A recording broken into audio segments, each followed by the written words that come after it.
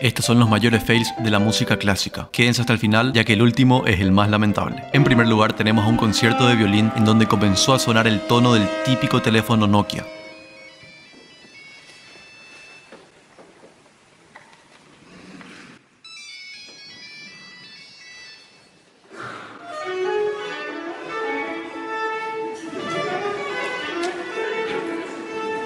En segundo lugar tenemos a un señor que quedó con medio violín en pleno concierto.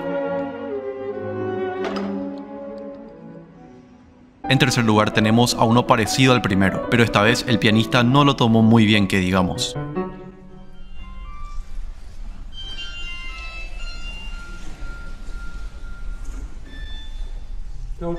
Y en el último lugar tenemos a un intento de tocar el rondo a la turca de Mozart.